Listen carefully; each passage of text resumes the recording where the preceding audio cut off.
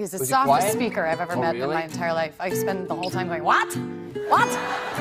Um, he makes me look like the old one. Um, That's a trick. That's an. and this is what he says really, really extreme.